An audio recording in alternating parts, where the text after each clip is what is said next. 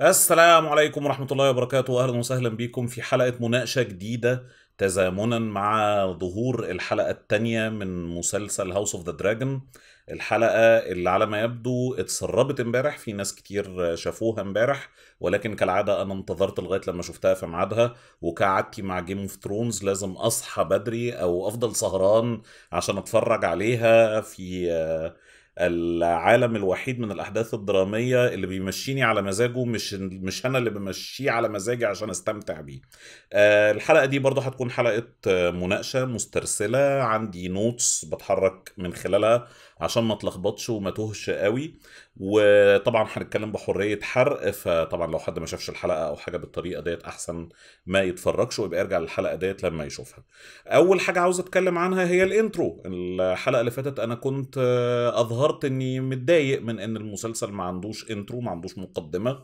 وناس كتير شرحت لي في التعليقات وعلى تويتر إن لأ هو في مقدمة و HBO وضحت الكلام ده ولكن قالوا إن هم اختاروا إن هي ما تظهرش في الحلقة الأولانية علشان ما تفصلش المشاهد أو عشان يفضل منغمس في تجربة المشاهدة أو حاجة زي كده على قد ما فهمت يعني. ده في تقديري الشخصي كلام مش مقنع قوي يعني يعني إيه أول مسلسل في الدنيا يبقى عنده حاجة ممكن تنفصل لو حطينا intro في الحلقة الأولانية بتاعتها مش عارف هي شكلها كده زي الحجة اللي إحنا بنقولها لما بيبقى عندنا deadline وما نخلصوش. ويقول لك معلش أنا محتاج لغاية بكرة علشان أعرف أخلي المشاهد ينغمس في ال presentation اللي أنا بعملها والكلام ده. الكلام مش معقول طبعا اللي أنا بقوله بس هي شكلها كده يعني. المهم ال intro ظهرت في الحلقة الثانية فعلا. وطبعا موضوع إنها اتأجلت من الحلقة الأولى للحلقة الثانية دوت ممكن يكون رفع الهايب شويتين. أنا بس بديها شوية عدالة كده قبل ما أقول إنها ما عجبتنيش قوي. الاستعانه بنفس المزيكا مش عارف هل معنى كده إن كل المسلسلات اللي هتدور في العالم دوت هتبقى بنفس المزيكا بتاعت رامين جوادي؟ ولو في اختلافات إيه هي القاعدة اللي هتحكم هذه الاختلافات؟ لأن إحنا زي ما إحنا عارفين مقبلين على عدد من المسلسلات كمان. آه طبعا مفيش حاجات لسه مؤكدة قوي بس هيبقى فيه يعني. فليه يعني ما الراجل أصلا من المبدعين الجامدين جدا واللي ممكن يطلع أفكار أفضل واللي ممكن يطلع أفكار أجدد وممكن يعلي على نفسه في الملحمية بتاعت المزيكا؟ طبعا أنا ما بنتقدش جودة المزيكا دي من العلامات الدرامية اللي كلنا بنحبها بس كان ممكن يكون في اختلاف شوية في المزيكا. المهم لو طلعنا المزيكا من المعادلة التجربة البصرية مش عايز أقول مزعجة ولكن مقبضة قوي اللي هو الاندفاع بتاع الدم ده مش من الحاجات اللي هبقى عايز أشوفها كل مرة للأمانة. يعني Game of Thrones الأولانية اولا المقدمة كان ليها علاقة العلاقة بأحداث الحلقة وفيها حاجات بتتغير حسب اللي بيحصل جوه الحلقات وده كان بيخلينا مستحيل نعمل لها skip وإحنا بنتفرج. المرة دي هيبقى في حاجة شبه كده لأن ال- المحطات اللي إحنا بنعدي عليها في ال intro من خلال ال graphics اللي بيحصل ده هي شجرة عائلة التر- التارجيريان وفي تغيرات بتحصل فيها. آه، لأن لو في ارتباط حصل أو انفصال حصل هينعكس عليها والشخصيات اللي ماتت الدماء شيء مقبض قوي يا جماعة مش ممكن.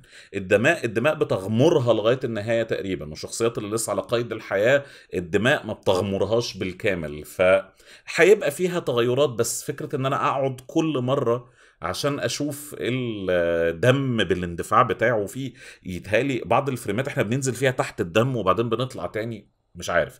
بس هي متنفذة بشكل جامد جدا. أنا بتكلم عن الإحساس أو الانطباع اللي بيجي لي أو اللي جالي لما اتفرجت عليها أول مرة. النقطة كمان اللي فاضلة إن في الخريطة بتاعت Game of Thrones كان في text كان في آه، نص بيتكتب بيقول دي دي إيه وبعدين بنشوف العائلة الحاكمة ليها هي اللي بيظهر الشعار بتاعها فبتتغير حسب تغير الأحداث وده كان في منتهى الذكاء طبعا. المرة دي مفيش أي text من أي نوع لأن إحنا بنتكلم عن شخصيات عن ناس. ف أنا بقول هو ممكن يكون بصلها من الطريقة دي أو ممكن بيدفعوا المشاهد مع مرور الحلقات إنه يرتبط أكتر بالشعار اللي بيمثل كل شخصية.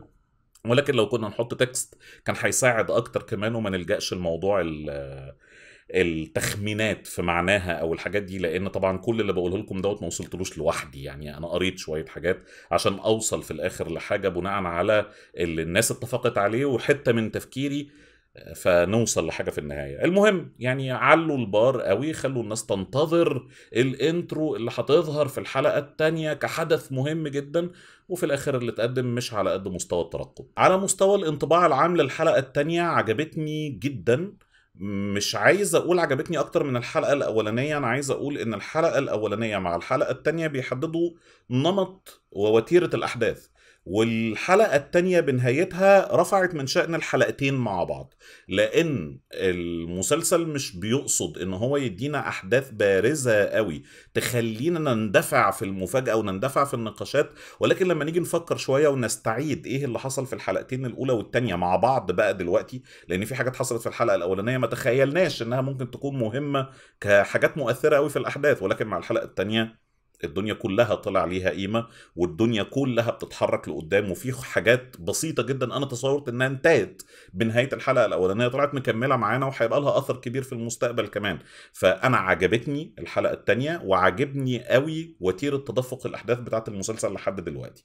في الحلقة دي ممكن نقول إن حصل أربع أحداث أو أربع خطوط للأحداث مهمين تجمعوا في الآخر لنتيجة واحدة أو لكونكلوجن واحد ممكن يكون ولد خط أحداث آه، خامس هو اللي جمع الدنيا هو اللي زي ما بيقولوا كده عملنا قمع يعني ليه آه، فروع كتير وفي الآخر اتجمعوا في سرسوب واحد من من من تحت عدم المؤاخذة يعني. فأنا عاوز أتكلم عن الأربعة دول بالنتيجة بتاعتهم في الآخر وأدي حق زيادة لخط الأحداث الأهم في الحلقة في تقديري الشخصي. آه، الأحداث بتاعتنا بتس بتس بتستكمل بعد مرور ست شهور على الأحداث اللي إحنا شفناها في الحلقة الأولانية. إبعاد ديمن وفاة الملكة. الأمور دي كلها عدى عليها ست شهور وفي حاجات حصلت المسلسل ما تعاملش معاها. عشان كده بقول لكم إن في تسارع في وتيرة الأحداث. على ما يبدو في هجمات متعددة على الأسطول. على ما يبدو ديمن راح Dragonstone وخد ال Golden Cloaks وعملوا جيش واستقر هناك وما أعرفش مين كل الحاجات دي إحنا نطيناها. ف شكلنا هيبقى عندنا أحداث كتير والقفزات الزمنية دي مش عايز أحطها كنمط ولكن حتى لو اعتمد عليها فأنا ما بحسش إن بقى في فجوات. أنا حاسس إن اللي حصل واتحكى وزي ما بقول لكم فكرة إن الشخصيات تحكي أحداث داخل عالم المسلسل بتاعنا دي من عناصر الجذب بتاعه من الحاجات اللي بتعجبني. خط الأحداث الأول وهو الخط الأحداث اللي ممكن نقول مش عايز أقول الأقل أهمية أو آه، عايز أقول بس إن هو اللي لسه في بدايته قوي ما وصلش لمنتصفه حتى أو لمرحله التفجر بتاعته وهي اختيار كريستن كول للحرس للكينجز جارد. بعد واحد آه، مات فبقى لازم يعينوا حد مكانه. حصل عملية اختيار آه، رينيرا اختارت كريستن كول اللي هو مش من عائلة كبيرة ده ابن رئيس خدم. ولكن بناء على كفاحه في المعارك وفي الحروب وفي الكلام ده كله اكتسب المكانة دي بالإضافة لأنه هو اللي هزم ديمن في ال tournament اللي كانوا عاملينها. والأحداث أو الحدث بتاع اختياره بيوضح بشكل آه، أعتقد صعب قوي نختلف عليه إن في دافع ممكن يكون رومانسي أو ممكن يكون آه، آه، مش عارف أسميه إيه بالظبط من رينيرا وراء اختياره. وهنا إحنا بنشهد شبه حاجة تشبه المثلث أو المثلث ما بين رينيرا وما بين دايمون وما بين الشخص ده لأن هما برضو بعد كده شوية داخل أحداث الحلقة آه، حصلت مواجهة ما بين دايمون وما بين الشخص ده وتبادلوا التراش توك بطريقة جميلة جدا بصراحة. ودي من العوامل اللي ابتديت أحس بقيمتها أكتر وأكتر في الحلقة الثانية من المسلسل وهي إن الحوار جميل جدا جذ- جذاب جدا. في كذا كذا مواجهة وكذا جول كذا دويتو في الحوارات حصل في الحلقات. في الحلقة الثانية كمان بينت لي اللي حصل في الحلقة الأولانية اللي ممكن أكون ما خدتش بالي منه قوي لأني كنت مركز أكتر مع الأحداث بتاعتنا هتندفع إزاي وهتتحرك في أنهي اتجاه. فكريستون كول شخصية Ser كريستون كول شخصية معانا آه، ممكن تلعب دور مهم. زي ما بقول فكرة التقدم بتاعها بس على ما يبدو إن هو لسه في أوله شوية وبالتحديد في شكل علاقته مع رينيرا. الخط التاني من الأحداث بتاعنا؟ ممكن يكون الممثل بتاع القسوة ال Game of Thrones اوية داخل الحلقة اللي يمكن يكون تراجعت شوية في الحلقة دي بشكل عام هي والمحتوى الجنسي اللي على قد ما أنا فاكر ما ظهرش أصلا في الحلقة على الإطلاق. آه سفير القسوة والعنف والمحتوى المقبض في هذه الحلقة هو The Crab Feeder الشخصية نفسها المفروض إن اسمها كراجاس دراهار ده القرصان أو اللي بيقود مجموعة من القراصنة بيمولهم أو بيدفعهم أو بيدعمهم ال Free Cities عشان يهاجموا الأسطول الملكي. وعندهم طريقة جميلة قوي قوي قوي في التعامل مع الجنود والناس اللي موجودة على السفن ديت إن هم بيمسمروهم في زي حواجز جميلة كده على الشط وبيخلوا الكابوريا آه، تطلع تاكلهم. فاحنا كان عندنا تنانين دلوقتي بقى عندنا تنانين وكابوريا كمان. الموضوع كبر معانا شوية وطبعا المشهد كان قاسي شوية وعنيف شوية وما كسرش حدته بس غير الترجمة العربية لمفهوم أو تعبير The Crab Feeder وهو إنه مغذي السلطعونات برافو يا جماعة برافو. طبعا الهجوم دوت بيثير لورد كورليس فيلاريان جدا لأن هو المسؤول عن الأسطول وعاوز يرد الهجمات وعاوز يحارب ولكن الملك بالاتفاق مع باقي المجلس بتاعه بيقولوا إن هم مش عاوزين يخشوا في حرب مفتوحة مع ال Free Cities وهيتم تعويضه وده بيوسع أكتر في الشقوق والشروخ اللي في الموجوده بالفعل في العلاقة بتاعت كورليس بالملك وبالمجلس بتاعه واللي زي ما بنشوف خلال الحلقة نفسها بتزداد وبتزداد لغاية لما بتوصل لمرحلة متطورة جدا. وبعدين نصل لخط الأحداث الثالث معلش أنا يمكن أكون ميال شوية لموضوع فصل خطوط الأحداث ديت للشكل الكلاسيكي بتاع Game of Thrones لربما المسلسل يجبرني ويخليني أعرف أتحول عنه أو أتبنى الشكل اللي هو عاوز يتعرف بيه أكتر. بس في الوقت الحالي أنا مر... أنا مرتاح شوية بموضوع خطوط الأحداث دوت لأنها فعلا في الحلقة دي بالتحديد كانت شبه متفرعة ينفع نقول عليها منفصلة وفي الآخر تجمعت في قرار واحد في النهاية. الخط الثالث اللي أنا قصدي عليه وهو تاني أهم خط في الحلقة كلها هو الخاص بديمون تارجيريان اللي زي ما عرفنا من خلال الحد... من من خلال الحكاوي من خلال الحديث إن هو استقل ب Dragonstone وقعد فيها وجاب ال Gold Cloaks وخلاص نصب نفسه أمير ل Dragonstone وفي وفي ذلك تمرد على القرارات بتاعة الملك بشكل أو بآخر ولكن الملك اختار إنه ما يواجهوش. يعني الوضع دوت استمر لمدة ست شهور والملك برضو اختار عدم المواجهة. مش عايز أقرب مش عايز أتفاعل مش عايز أعمل أي مشكلة أهو بعد وخلاص. والموضوع خلص على كده لغاية لما الموضوع بيتصاعد وبيسرق بيضة من بيض التنين وحتى في المرحلة دي فيسيرس بيبان إنه مش يعني آه مش مبسوط ولكن مش عاوز يحارب أخوه قال بشكل واضح عاوزيني أعمل إيه أبعته للوول ولا أحط راسه على رمح ولا أعمل إيه بالظبط؟ وبعديها بثانيتين ثلاثة تقريبا بتتكشف المعلومة إن هو سرق البيضة اللي كانت المفروض هتتحط في المهد بتاع الأمير المتوفي اللي هو بيلون. والتاني مرة في تاني حلقة على التوالي هي دي القشة التي قسمت ظهر البعير. الملك بتاعنا بيبقى عنده صبر قوي واستيعاب قوي وعدم اندفاع في اتجاه إن هو ياخد قرارات عنيفة لغاية ما الموضوع بيتعلق بوريثه المحتمل الذكر. دي النقطة اللي بتقلبه على طول. في الحلقة الأولانية لما الموضوع تعلق بذلك خد قرار بنفي ديمن مباشرة. في الحلقة دي لما الموضوع تعلق بذلك خد قرار مباشرة بأنه عاوز يروح لديمن ويواجهه ويجلبه لمواجهة العدالة أو للمحاكمة أو حاجة من هذا القبيل.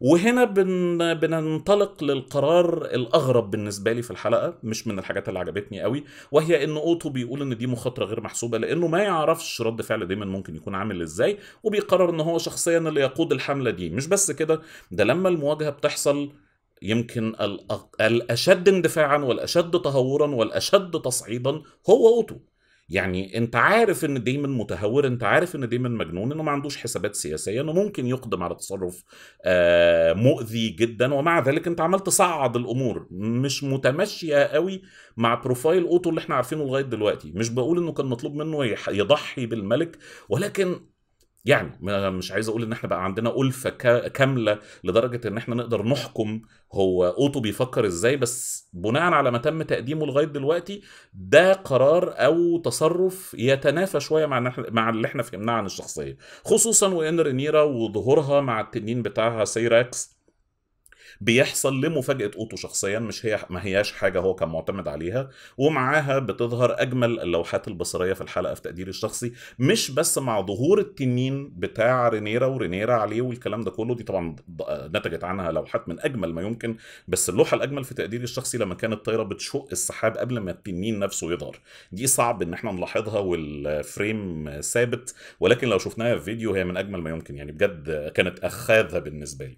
وبعدين بنكتشف ان التصعيد اللي دايما شخصيا كان عامله ما هواش صادق 100% هو من ناحية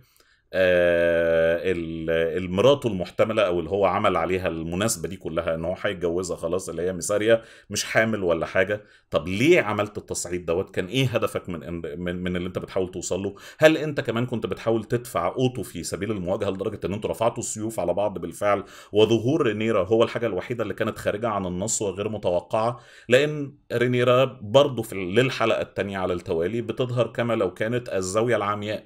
بالنسبة لديمن. هي دي النقطة اللي قدامها مخططاته كلها بتنهار بتتوقف. هو كان عاوز يصعد كان عاوز يواجه كان عاوز حاجات كتيرة قوي. ما حطش في حسبانه إن رينيرا ممكن تظهر. وتقول له أنا الوحيده اللي واقفة في طريقك عن الحاجات اللي أنت عاوز تحققها. ممكن تقتلني فبيتراجع تماما وبيرجع لها البيضة والموقف ده كله على بعضه بيخلص ففي بعض الدوافع في الموقف ده ما عجبتنيش قوي. ما حسيتش إن هي متماشية مع اللي إحنا عارفينه عن الشخصيات لغاية دلوقتي. ولكن الكونكلوجن اللي في النهاية اللي بيحاول يوضح لنا أو يجيب لنا دايما في في الشاشة تاني لأن كل اللي حصل معاه قبل كده كان بعيد عن الشاشة. فنعرف هو وصل لإيه بيفكر في إيه لسه عنده بعض التهور لسه عنده بعض الاندفاع ولسه برضه المخططات بتاعته ناقصها حتة وننتقل لخط الأحداث الأغنى والأوسع والأكثر ظهورا على الشاشة والأمتع والأكثر تاثيرا فيما تلاه من أحداث وأكثر تلاعبا وأكثر جاذبية على مستوى الحوار. ونتج عنه برضو التنقل في أماكن كتيرة جدا أثرت التجربة البصرية بتاعت الحلقة وهو ما أحب أن أطلق عليه عنوان الملك عايز يتجوز. آه وده موضوع إحنا عارفين إن هو معانا من الحلقة اللي فاتت ومن من المثير إن إحنا نوصل للمرحلة اللي إحنا وصلنا لها في الحلقة الثانية على الرغم من إن في اتفاق مش عايز أقول عام قوي ولكن يكاد يكون سائد إن الأحداث مش كتير. طب يا جماعة ده واحد خط بس من الخطوط التانية جري من أول ما الملكة كانت موجودة وحامل لغاية لما الملك خد قرار إنه عايز يتجوز العروسة التانية يعني. فالمهم الخط ده بدأ بنجمه الحلقة في تقديري الشخصي أليسنت آه وهي عندها تضارب كتير جدا. أنا أط... أنا أنا عاوز أقول إن أليسنت مع نهاية الحلقة الثانية هي ال profile الأكثر جاذبية ما بين كل الشخصيات. لأنها آه من... متجاوبة أو متماشية أو آه مندفعة في الخطة بتاعت أبوها أوتو إن هو عاوز إن هي اللي تتجوز الملك. على ما يبدو مش برضاها هي مش عاوزة تعمل ده ولكن بتعمله على أكمل وجه لدرجة إنها بتتفوق على مخططات أبوها شخصيا. آه لما بيجي يقول لها انت هتروحي له ولا مش هتروحي له روحي له اعملي كلام زي ده. لو عاوز ماشي بس هي في النهاية لو أنت سبتها هي هتعمل اللي انت عاوزه أحسن ما انت عاوز كمان. لأن في الحلقة دي إحنا عندنا آه اتنين كانديديتس مر... اتنين عرايس مرشحين للملك. واحدة منهم بتيجي معاها فوائد سياسية وفوائد اقتصادية وفوائد حربية و تقوية للنسل وكل حاجة إحنا عاوزينها وعودة للإرث الفاليريان بالكامل وحاجات زي كده. وواحدة تانية ما نطقتش الكلمة يعني لا ذكرت أي حاجة ليها علاقة بالجواز ولا أي حاجة ليها علاقة بأنها ممكن تاخد المكانة دي. بل أكثر من ذلك ده لما اتكلمت فيما يخص زواج الملك دعمت الأجندة بتاعت البنت الأخرى اللي هي لينا. ولينا دي موال تاني طبعا لأن لينا دي هي المرشح المدفوع من كورليس ورينيس إن إن الملك يتجوزها وهم بيتكلموا عليها طبعا الملك انزعج وبانت عليه الإشارة بإن هي صغيرة. وأنا كنت متصور إنها شخصية لسه ما ظهرتش. وبعدين نكتشف إنها سوكا. سوكا بتاعت الحلقة الأولانية. إزاي بس يا معلم؟ يعني دي حاجة مزعجة جدا. والبنت هايلة على مستوى التمثيل على فكرة إنها آه، كانت بتدفع الأجندة بتاعت أبوها وكانت صادقة في نقل التحذير بتاع أمها أو الطم- الطمأنة بتاعت أمها بإنك مش هتحتاجي إنك ترتكبي البغبغاء معاه إلا كمان سنتين لغاية لما تتمي 14 سنة. بس المشهد كله على بعضه غريب. يعني هي البنت نفسها أصلا كانت بتقول بعض المعلومات للملك جايباها من سبيس تون يا جماعة مكتوبة هي قدامكم على شاشة سبيس تون أهي. أنا عارف انها Spice Town على فكرة عشان المصححين اللغويين اللي هيطلعوا لنا بس أنا لما شفتها أول مرة ما حسيتش إن أنا شايف حاجة إلا سبيس تون قدامي يعني. وعلى فكرة ذكرت معلومة جميلة جدا عن تنين آخر بيظهر معانا في الصورة وهي فيجار تنينة بنت برضو مش موجودة في Dragonpit لأنها أكبر بكتير من ذلك ويبدو إن هي سافرت بعيد ولكن هي لسه حية وبتطلق أغاني أو بتطلق أصوات أصوات حزينة. وطبعا لو تم تقديم حاجة من هذا القبيل ففي الأغلب هتخش معانا في الصورة وهيبقى لها دور في الأحداث. آه، الحوارات بقى اللي دارت في الخط بتاع جواز الملك دوت من أجمل ما يمكن وأتصور إن الحوار المفضل عندي في الحلقة كله كان ما بين رينيس ورينيرا لما كانت آه، لما اتكلموا عن the order of things اللي هو بالترجمة بالعربي. الترجمة العربي في الحلقة دي بصراحة متألقة يا جماعة متألقة. سبيس تون ومغذي السلطعونات ونظام الأمور. قال لك the order of things دي ترجمتها نظام الأمور. إحنا كأننا بنتفق على شحنة كتاكيت على قهوة. نظام الأمور دي. آه، حوار سياسي جميل جدا. التمثيل والتصعيد والتلقيح اللي ما بين الأميرتين كان من أجمل ما يمكن. إن نظام الأمور أو the order of things إن ما فيش حد في الدنيا هيسيب واحدة ست تبقى الملكة إنها تجلس على العرش بينما رينيرا بتتحدى ده وبتقول المشكلة كانت فيكي انت مش في the order of things ورينيس بتقول حاجة ممكن نعتبرها foreshadowing للي إحنا عارفينه بالفعل من Game of Thrones لما قالت إن الرجال الرجالة يفضلوا إن هم يحرقوا ال realm كله عن إنهم يسيبوا واحدة ست تصعد للعرش. وده ممكن يكون foreshadowing لأن الملكتين اللي إحنا نعرفهم اللي كانوا متنازعتين على ال realm في Game of Thrones اللي هم دينيريس وسيرسي ما صعدوش للمكان اللي هم كانوا عاوزينها إلا لما دمروا وحرقوا كل حاجة حواليهم. النقطة اللي كانت عابرة قوي في الحلقة الأولانية أو أنا ممكن أكون عملتها باستهانة شوية هي الجرح. أنا كنت معتبره مجرد آه، آه، رمزية لحاجة معينة. اللي جه في إيد الملك واللي يبدو إن هو تفاقم وإن الراجل ده اللي عنده اللي برضو كان جرح باين في ظهره في الحلقة الأولانية مش عارف ده ممكن إيه يا جماعة؟ ده حاجة زي جذام كده أو حاجة؟ اللي هو الجرح اللي يجي لك فيتفاقم ويتسبب تس... يتسبب في تسمم واسع التأثير جدا وممكن يودي بحياتك وكلام زي ده. ما أعرفش ده بيؤدي لإن الراجل دوت عايش معانا قد إيه؟ التغيرات اللي ممكن تطرق عليه واللي ممكن تكون مزعجة جدا على مستوى المشاهدة.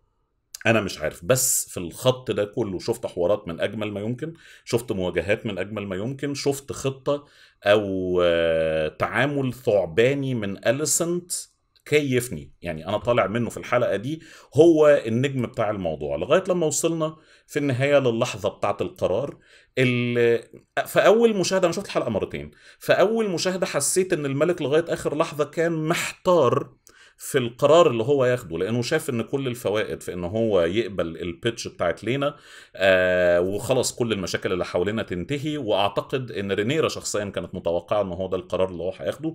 ولكن لما جيت أبص مرة تانية لقيت إن اليسنت كانت موجودة وعلى ما يبدو كان عندها فكرة مسبقة عن القرار. فيبدو إن في حاجة دارت إحنا ما شفناهاش. يا هنعرفها يا مش هنعرفها يا إما هم هيسيبوها كإشارة وخلاص يا إما هيتم الكشف عنها. دفعت القرار في اتجاه أليسنت بشكل واضح. رينيرا قبلها لأنها كان عندها آه، مقابلتين مع أليسنت مقابلتين ولا مقابلة واحدة؟ أتصور إن هما كانوا مقابلتين.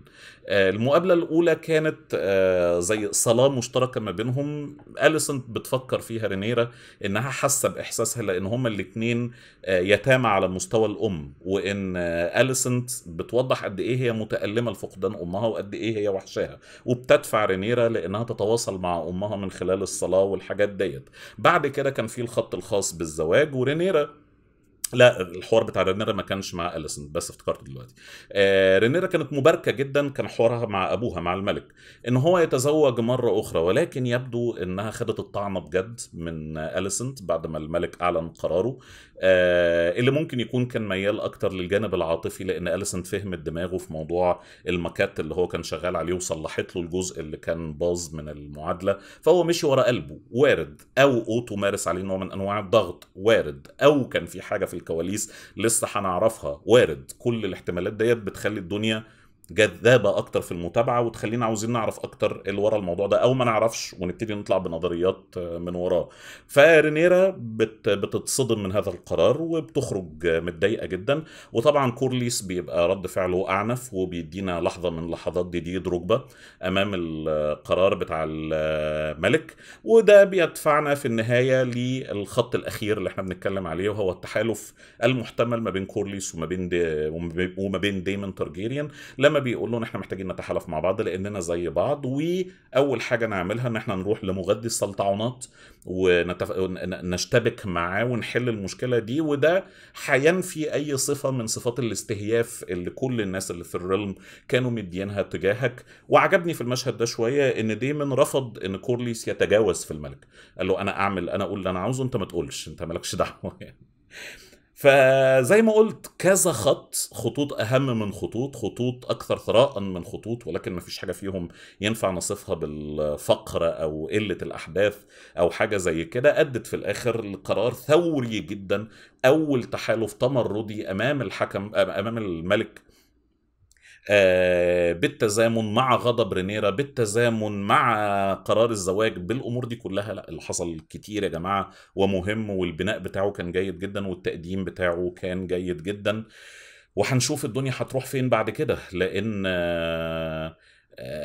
ممكن نتوقع إن الحلقة الجاية تكون أول مواجهة حربية في تاريخ مسلسل House of the Dragon ومباشرة في الحلقة الثالثه وأتمنى إن ده يحصل الحقيقة. ده انطباعي ورأيي عايز أعرف انطباعاتكم وآرائكم وبالتحديد في ال intro نتبادل آراء يمكن حد يدينا الجامدة اللي تقنعنا كلنا بإن اللي حصل ده هو الأمثل. ألف شكر لحضراتكم على المشاهدة يا ريت تعملوا share و like للحلقه لو عجبتكم اشتركوا في القناة وشغلوا جرس التنبيهات عشان تجيلكم الحلقات أول بأول تابعوني على فيسبوك وتويتر ونيمو وإنستجرام وباي باي.